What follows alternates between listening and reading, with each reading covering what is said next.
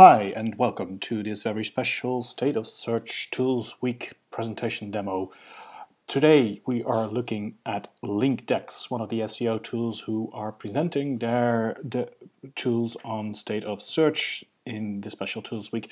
You can find more of that on stateofsearch.com slash tools. But today we are, as said, talking to LinkDex and uh, one of the founders of LinkDex, it's his baby, Matt Roberts, is going to present all about LinkDex. So without further ado, here is Matt Roberts. Matt, can you tell us something about the idea behind LinkDex to start off with, and then go ahead and talk about all the good stuff that LinkDex can give us? I mean, that we're thinking that in 2013 and 2014, your tool's going to have to be very integrated. So where our heritage is very much search and the way that content marketing has grown, social, and, and that integration with the PR place. Uh, um, is, is, a, is a key part of how we think and where we're investing our technology. And our, and our thing is really it's it's available in the platform all in one place. Um, so inter, internally and externally, we describe ourselves as, as, a, as a data company. So we use big data, uh, and the and the media we're interested in is particularly the earned media. I know that's a phrase that um, lots of people are familiar with. So that incorporates things like search and social and, and content marketing. And the way we the way we sort of look at this is the the the inputs into the sort of the, the big big data mix we're interested in is, is really about how value is created. So we care a lot about value and, and growing um, growing revenues and, and helping people understand value on the web. So we look at things like keyword demand and value and the authority of publishers and authors and sharers and architecture and all how all these things sort of integrate in a in a sort of very comprehensive way uh, to form the bigger whole. So, you know, a, a, bit of a marketing phrase, but I think it describes what we do um, in, a, in a good way. We would see ourselves as a media catalyst by introducing data sources like contacts with authors, with linked data, with with ranking data, analytics data, tasks, and all these things, and we, we pour all of this into the sort of the big engine, and uh, we, we try and uh, generate insights. So we, would like you to be able to create a to-do from from as many data points inside the platform as possible. So the kind of clients we work for are, are the big brands um, and, and big agencies, and even PR companies are, are finding great benefit from using the platform. Um, so a real cross section of, of, of people are our customers. I think that one of the other unique things about us is that we every Tuesday, every two weeks, with with something else happening tomorrow. So Tuesday, one of those Tuesdays is tomorrow. We we release new features, new functionality, both client-driven and and roadmap innovation-driven. Um, so our clients really do see change on the platform. It's not it's not a sort of relatively static beast where you might have four releases a year. You literally do get 26 releases a year, and I think I think that pace surprises many. But today we're limited in time, so rather than show you everything that we do, uh, I thought it'd be really cool to sort of um, tell you about our clients' favorite bits. So I get the privilege of traveling the world to talk to our customers about where their businesses are going, whether they're a brand doing it in-house or an agency. Uh, servicing clients, and they, they get to tell me what they what they like, what they want, and what they need our technology to do. So I, I thought I'd highlight a few bits of the platform that I think um, I think both tell the story of who we are and where we're going, but also sort of maybe sort of help people um, sort of understand what category of tool we fit into, as this is Tool Week, um, and there'll be a lot of tools on the show. So the first thing is about measuring search visibility and reporting on value. So we we spent a lot of time sort of developing how we do this. So for any market, we can tell you who's winning or losing, and that not just across the whole market. We we can do that by isolated keyword groups, and we can plot this change through time, and we can tell you how much winning is worth. And I think this is a big deal for people, particularly in an industry where sometimes investments in, in search and social are, are maybe um, suboptimal. So understanding what winning looks like, understanding who the winners are, and understanding where opportunity is um, helps people shape budget and investment. And I think I think that's a big a big deal for search because I think we can do a lot more to sort of grow budgets and, and grow investment in this in this what is a huge channel. So um, yeah, keyword value and, and market value and uh, across niches and markets. The other one is sort of understanding pages, and I've, I've talked to people quite a lot about this, especially content marketing clients amongst us, about how much, not just is how much are keywords worth and by tag group or by um, by whole sort of universes of keywords, but how much is a page worth? And I think these are really these are really interesting metrics where you can actually say for this page that I'm ranking that is ranking well, or for a page that I haven't built yet that I'd like to build, what is the opportunity of that page? And uh, we did quite a lot of work to actually explore what what that is in both if I was to rank number one and forecasting as well as applying um, in traffic, but also applying uh, monetary value to opportunities. So um, we use quite a lot of um, metrics that revolve around a paid search equivalency of natural search traffic. And our clients are really getting a lot of benefit from sort of taking not just the keyword view, but the page view of, of performance metrics. The other thing that we did um, last summer was was give our clients access to um, geo ranking data. So I think the industry's had a, a, problem with ranking data for a long time because we know that the location of the search area plays such a big part for so many keyword groups. So we introduced the functionality that for any town, city, or, or zip code, that you're able to check how you perform and compare those those configurations side by side. So it's really easy within the platform to set up a new a new territory that you want to check performance for, and then we benchmark that against other territories. It can show you geo variance across different locations, show you which pages are ranking across different locations, amongst other metrics. And I think this really helps shape both lo local search strategies, which obviously are a, a big deal um, for people who have other physical properties like retailers or, or franchises, or whether they just have greater coverage to understand how you how you perform in those different areas. It's a real sort of building block for strategy. So that's that's used extensively by our by our clients. Overlaying ranking data is one thing, but underlaying sort of value data and integrating um, traffic and conversion data is also really important. So whether that's sort of three-click Google Analytics integration or whether that's enterprise integration, we, we do that. Um, smarter decisions on content and architecture. So obviously websites are managing the property you've got and exploiting the the equity that exists within domains is, is, is an important task that all, all search people have to do. So we, we do something interesting. So we, we do crawl websites and we crawl them in, in a very flat way, getting the most important pages as we crawl through. But then we try and provide more details about those pages. So yes, we do diagnostics for things like issues, things that might be broken. But we also overlay um, traffic data, link data, backlink data, um, keyword reach, and other, another ranking data, and other metrics against a site crawl. Uh, and we find that this tells great stories about pages.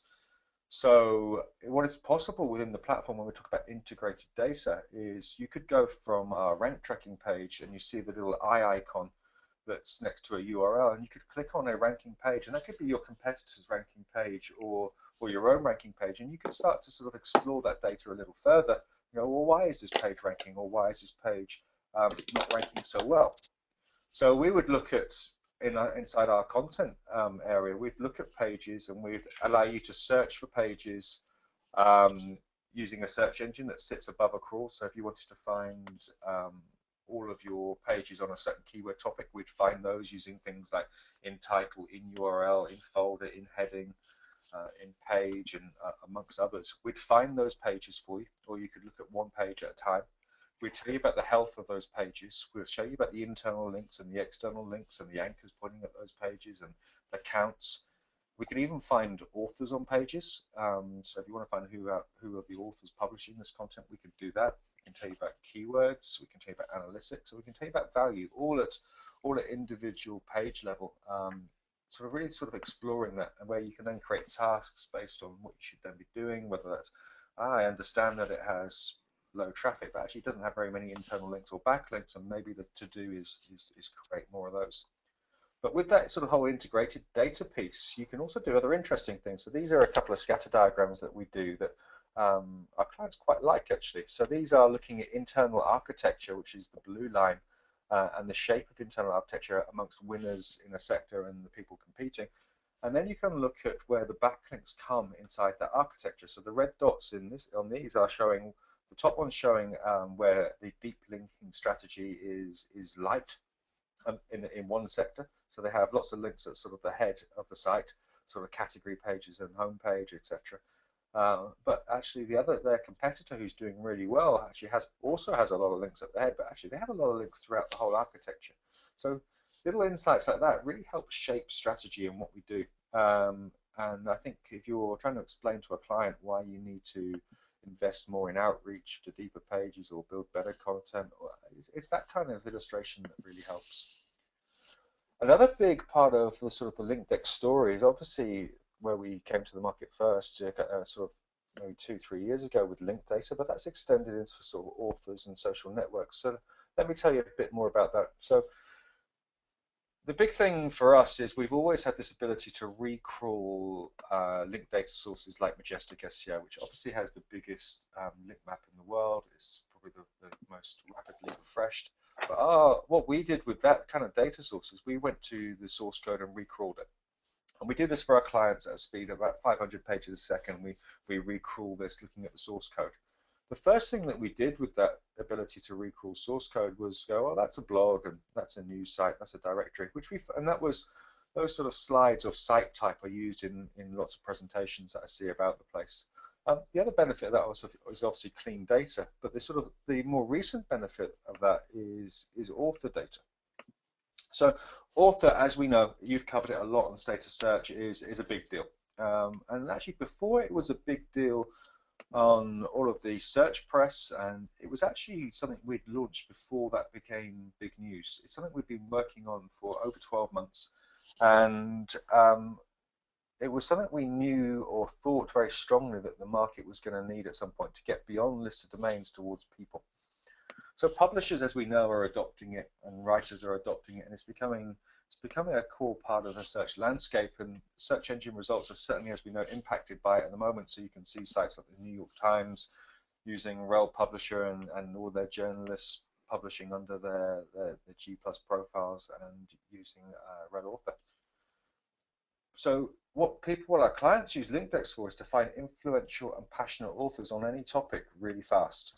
And actually, we're at the point now where actually we're we're confident that we have the largest commercially available database of uniquely profiled authors in the world. So this is something I put together yesterday, and we looked at the UK mobile phone market, and within no time at all, we actually found over 25,000 authors in this space, and we're able to pick out authors that, for example, write about this market in a in, in a in a in a way that would display them as being really passionate about the topic and relatively neutral about what they do. So, like I've highlighted here, this um, Carly Page here, whose writes for So Mobile, but she's actually written 145 different posts we've got on the mobile sector, and she's mentioned 14 of the mobile phone market brands in the mobile phone market, and we've got a G plus profile, and we know more about it.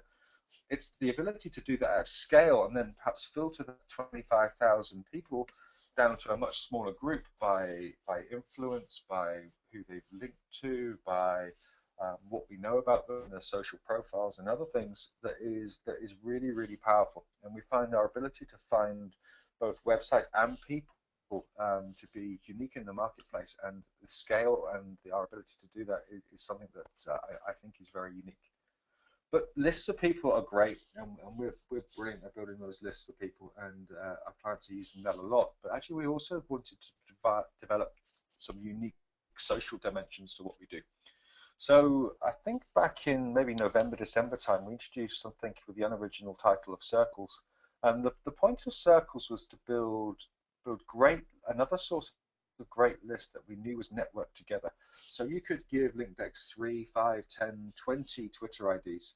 And from that, we would come back and analyze, after analyzing those, and go, actually the 250 other people or Twitter profiles that we think you should take a look at are these.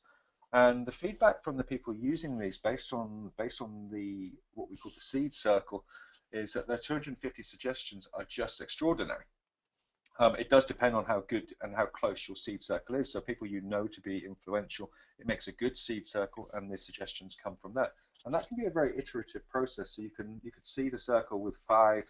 We could show you 250. You might take 20 out of the 250 or more. You know, you can actually take probably lots of that 250, put them back in the seed circle, and repeat the process of this suggesting sort of toing and froing, and you get you get to build brilliant media lists. But that's not just Twitter. We've actually overlaid authorship inside that data.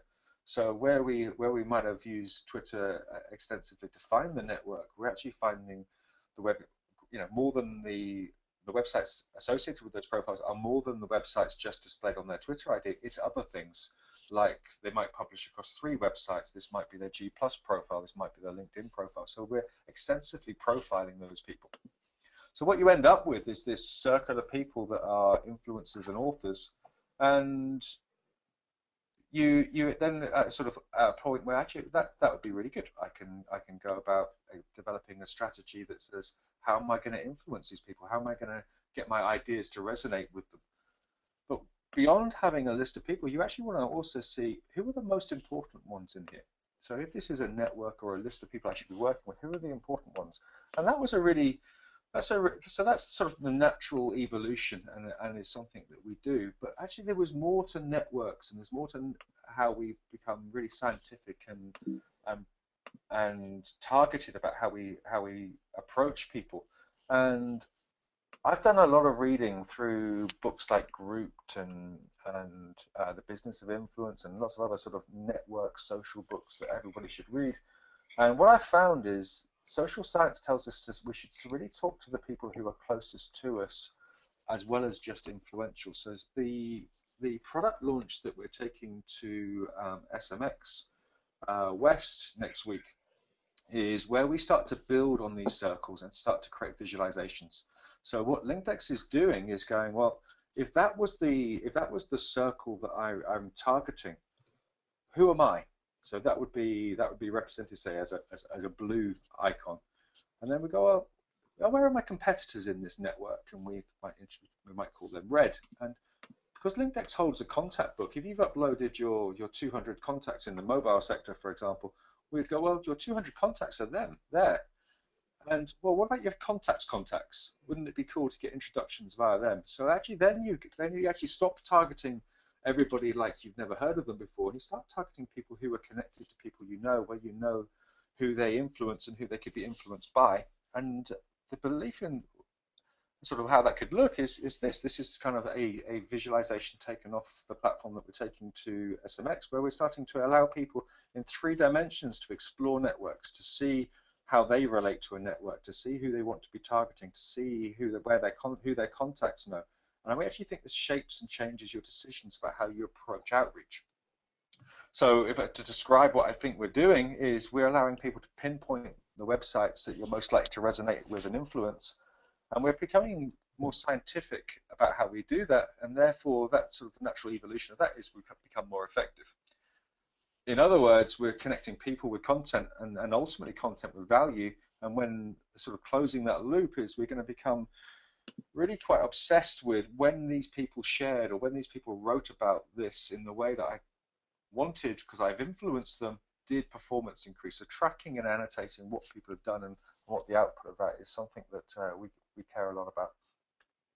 So that's that's sort of a, a sort of a, a short run through of what I think sort of the key DNA of our business is, so you can sort of understand where we're coming from. It's very integrated. As I said, we're going to be all over the place, um, hitting the hitting the skies a lot. Uh, going to be at SMX West, going to be in Iceland, going to be in New York, PubCon, to name but a few. That's just the first half of this year. So we'd we'd love to show you more, and also our sales guys um, would happily show you around the platform too, and we could even set up some data for you. So uh, I hope that helped give you a flavour for what LinkDex is is all about. Thank you, uh, Matt. Um, I'm keeping the screen on, uh, on, on your side for for for now. Um, uh, I've, I've, got a couple of questions myself. I'm also gonna um, ask uh, people who are in uh, the webinar at the moment, uh, the attendees, if they have a question, they can type that into the chat. There's also a question module actually on the right hand side. I think if people um, have the right view of um, uh, of GoToWebinar. Um, uh, so, and they can drop the question there, and uh, I can try to either unmute them to ask the questions themselves, or I will ask the question for them. Um, uh, either way, uh, I'm going to start off with a question myself. You obviously um, have something quite revolutionary here when it comes to um, influence. and uh, that's something, as you said, people have been talking about for the past year or so, and they've been looking at influence. And and in one of your last slides, uh, you measured, uh, you you mentioned measuring influence. Yeah. Um, uh, this is something that you you're going to be doing in in uh, uh, you're going to be doing for your clients as well, measuring the influence from from people within industries. So one of the key sort of aspects of influence is you've only you've only influenced if somebody has changed their behavior.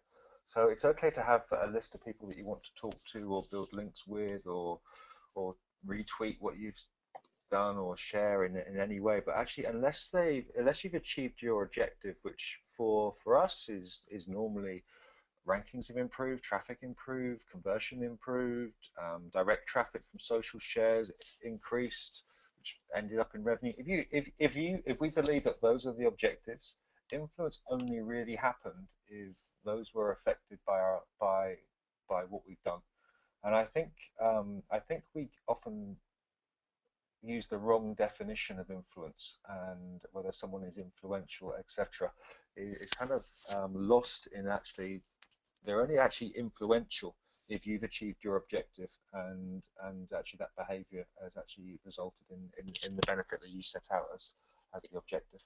So um, there there are people out there who who believe that um, number of retweets, number of likes, uh, number of shares, stuff like that is a measurement of influence. You, you are doing it differently, right?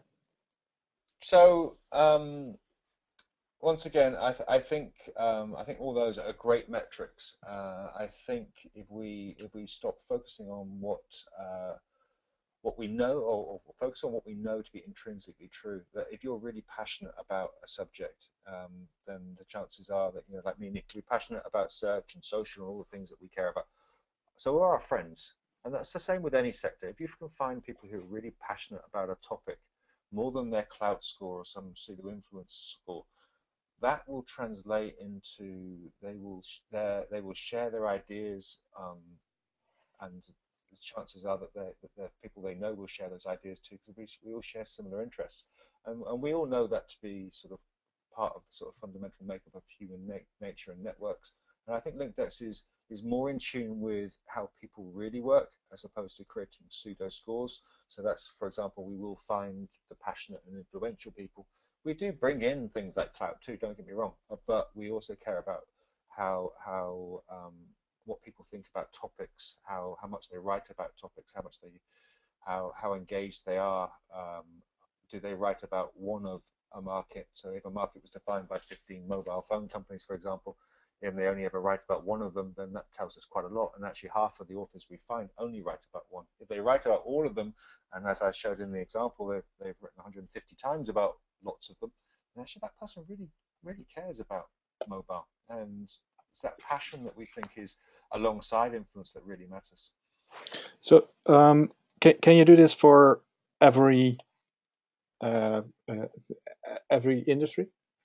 Yeah, absolutely, and I think that's um, that's something we we were we didn't know when we started this this process, which is how how granular and how how many niches or could we actually cover off with, with the core methodology that we use for this data? And actually, the reality is, no matter how how niche it is, we do an amazing job. So, for example, um, one client looked at the the business end of Wi-Fi. So this is this is not mobile, where where traditional sort of data companies would have said, well, you need more people in the mobile sector. We said actually we need people who care about sort of big Wi-Fi systems in hotels um, and all the sort of trade press around all of that. And actually, what we were able to do is profile all of the authors that write about that kind of real B2B interesting niche, but not particularly well characterized by anyone else. And we were actually to profile that industry to the point where the, the account managers on that said, that, that's that's amazing. How long did that take you? And the idea that only took us you know, a few hours, where they spent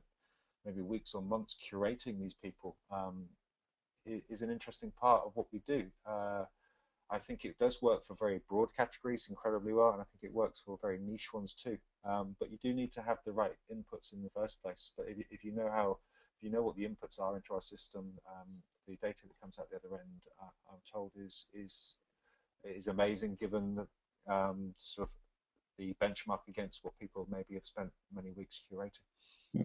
Um, a related question from uh, uh, one of the people in the chat room, Sarah Bradley, is uh, which social networks uh, does social influence data, uh, your social influence data, come from? Is it Twitter, Google Plus, LinkedIn? What what what networks are you looking at?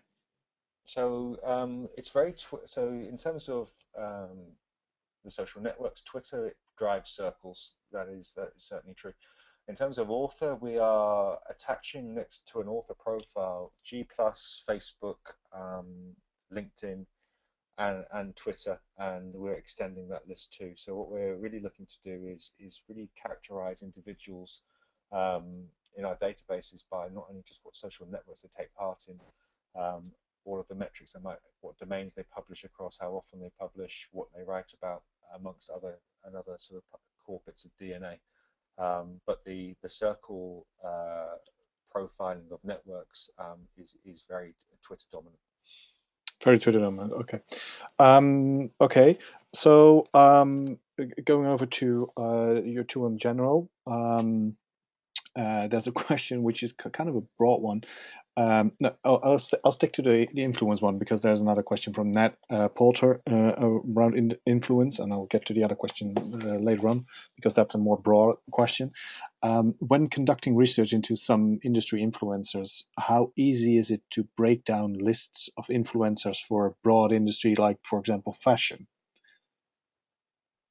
Um, so the filters that are currently available, so in so I, have done a project in, with fashion, and so we could we could certainly find 10,000 plus authors that they could then filter those down by the quality of the domain that they publish on, and that might take it down to you know 1,000, 1,500, whatever. I could then filter that by the ones that know about your. So if you have a client or whether you are a brand, I could go which ones of these have not written about you yet, or the ones that have written about you yet. I could filter that down.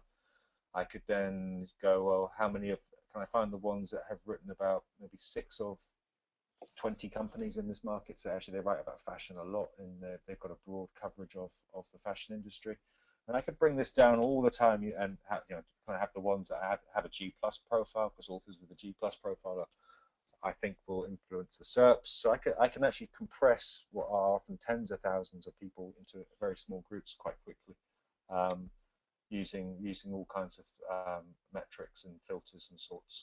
Now, of course, you you were experienced with this. You build it, so it doesn't take you too long. How long would it take somebody who was just starting out? So circles is really inter- is a really easy concept. So give me under 10 people that you know to be influential in a market. So, um, and I'll spit you 250 out the other end. That works really well, and that works really well with author. The author is is, is slightly more complicated because you have to define the market um, by the domains that play in that market. So we use the concept of world's best author. So the the inputs for for author that make this data really sizzle are if if you were to meet the world's best author for, for example, UK mobile phones, which other companies you would have expected them to have written about, and to the point where if they hadn't written about them, you would be surprised. And it's it's the it's that it's that methodology and those domains that, that define that market using that criteria that help us drive amazing lists. If you were to only put two or three companies in when actually the market is characterized by 20 different brands, then actually the data becomes becomes uh, less strong. Um, so putting the right companies in at the top helps drive a lot of the quality of the authors out the other end because we don't just look at individual domains, we're looking at whole markets. So you have to really characterize that market in some way, and we use the sort of a collection of domains to do that. And the world's best author concept is one that people understand. Would you say that uh, for agencies who work for different uh, industries, um, they, they will probably already do some research. This will make it easier for them. It depends on, on whether you're you're trying to do outreach or not, and how you're doing that, and what strategies you're you're geared up to do. So I think the world's seen a big shift in, in how we how we approach um, link building and and social and all of these things in the last six months. And I think developing relationships with people is a big deal. So um, if I was to find 200 people that I actually want to go and meet, maybe have coffee with, they're, they're important bloggers for reasons X, Y, Z, I'm going to help them teach them about G Plus a bit so they can help me. I'm going to sort of talk to them about my clients. I'm going to get them involved in campaigns. That seemed that kind of chat is what I'm hearing a lot of. That's where agencies and brands are moving to. So very much a PR-based model. If finding that important group, whether they're hundreds or even you know smaller numbers of people that, that actually beyond the fact that I'm going to email them, I'm actually going to develop a relationship with them, and I think relationship building is a, is a is a big deal now. Um, we're, we're very, very good at that. And we're very good at sort of whether that's the top level media um, in an industry or whether that's the individuals in that industry. We're very good at finding those people. Okay. Uh, another question uh, related to this. I'm, I'm not exactly 100% um, sure what she means, and if we don't get uh, can get to it, we'll ask her to unmute, or we're going to unmute her. But uh, the question is from Saskia Verkade uh, who asks uh, which or what kind of authors are successfully on Linkdex right now. Can you give us an example of best practice? I'm not sure I fully understand the question. So authors are we we mine for authors um, at request um, based on a, a, client having a, a, project. So each each project they set up, we can we can scour the web uh, for authors in that sector. Um, Okay, I'm gonna uh, unmute Saskia if she uh, if she doesn't mind, and then she can ask her the question herself. If she, if she, she, can explain what she means. So I'm just unmuting Saskia now. Hi, Saskia. Can you hear us? Yeah. Hello, can Saskia. Yes, we can hear you. Uh, you can ask a question oh, okay, to Matt yourself. Hi, yeah, Saskia. Um, hi. Uh, it's a, it sounds quite interesting, but I'm sorry, I can't really hear uh, all the things that Matt Roberts say, is saying. So maybe I've, I've lost uh, you uh, anywhere on the track. Um, but I was curious, can you give us a, an example of authors who are using this Linkdex at this moment? So we, authors don't use it. Agencies and brands use it to find the people in their industry who are writing and sharing uh, their content that they, they want to develop whether that's links or, or PR-based relationships with. So um, lots of the big brands and agencies around the world are using this as a, as a cornerstone of their outreach. Does that make sense? Can you give us some examples of brands that are using it? So um, the ones that we have permission to share are people like uh, Money Supermarket, um, Salesforce.com, people like that. Those are the big brands. So big brands, but also medium sized and small. Uh, we have a range of customers. Okay. okay. So, so in short, Saskia, um, the authors just have to write their stuff, and then Linkdex will uh, find them for the agencies who want to find the authors. Okay, thank you for inspiration. Okay. Yeah, no problem. So um, that was uh, Saskia. Thank you for the question, Saskia. Really a good one. Um, I'm gonna ask a, like the general question. Uh, one, what's coming next for the Linkdex platform? Uh, you've already mentioned actually the, the, well the next part is influence. Uh, I think I guess James Finlayson, who asks the question, wants to know what's what's after that. So I think I think we've sort of hinted a lot at what we're doing next, which is obviously um, better visualizations of data. So um, Linkdex has always been great at creating lists. So um, and I think um, to understand to understand social networks and how authors interact, you have to under, you have to be able to visualize the network. And I think um, visualizing networks um, from all of the work we're doing currently in the company adds a level of precision and understanding to not just who are the players in the market, but why am I talking to you? Why am I talk, taking you to lunch? Why am I not taking you?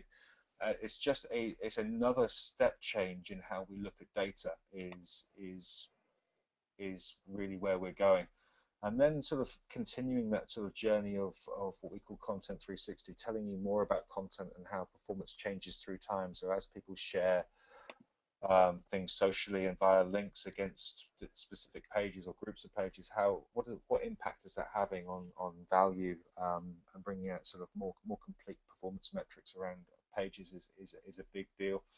Um, and just generally visualizing data in more interesting ways. I think you know Linkdex is, is a fabulous data platform, but I think um, we certainly know that sometimes, in the case of networks, is a good example that uh, sometimes visuals allow you to interrogate that data or at least to understand that data in more interesting ways, and you do need those extra dimensions. So I think increasingly becoming visual, um, increasingly look at how networks function to make to make outreach more scientific and precise. And I think um, being better at uh, and developing uh, more expansive and integrated content metrics. Okay. Um, uh, the um, uh, you, you, mentioned something that you launched uh, that was actually last summer already, geo-ranking data, which is ranking based on where uh, on, on, specific locations, uh, which can differ as as any SEO will know from one place to another. Um, that kind of gets me to the question: Is there a future for ranking? Because there's a lot of talk about tools and, and, and ranking tools and, and uh, Google doing stuff and tools not doing ranking anymore. What is your vision on that? So um, we're we're client driven in many ways as a company, and um, if we were to pull ranking data out of our platform tomorrow, then they would they would not be happy. Our agencies and brands use ranking data. We understand the limitations of it, and we understand that one of those was was the location of the searcher for some search queries altered the results dramatically. That's why introducing geo-ranking data was worth the investment. We understand personalization, we understand device, and, and amongst others. And where possible, we will extend that functionality to, to cover those off.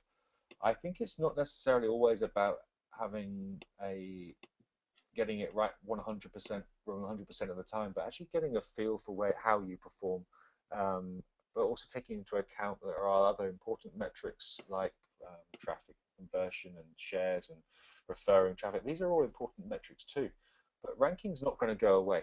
Um, rankings exist, and and having them as part of the mix um, to drive things like search visibility, while while being aware and, and sympathetic to to other harder metrics like the ones that analytics provides, is, is still really important. That may change through time, but I can't see that changing anytime soon.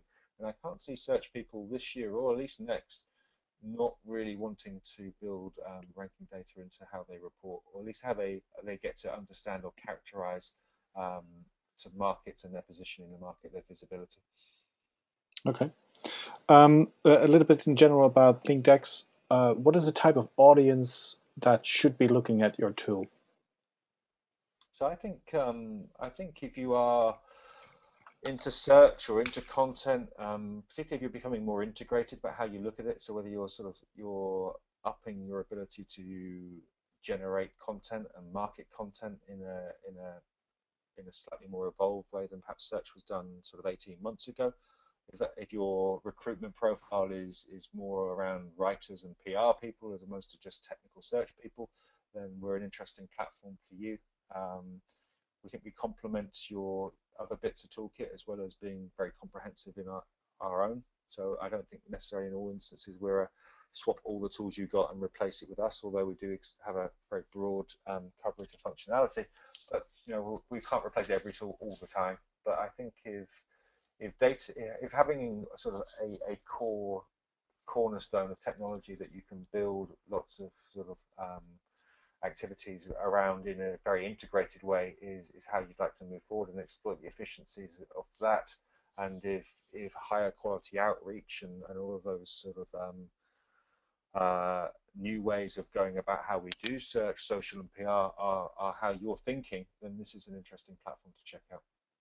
Okay. Do, do, do you need to be rich to use Linkdex, or is the tool for everyone? Actually, I, I, think that's. I think.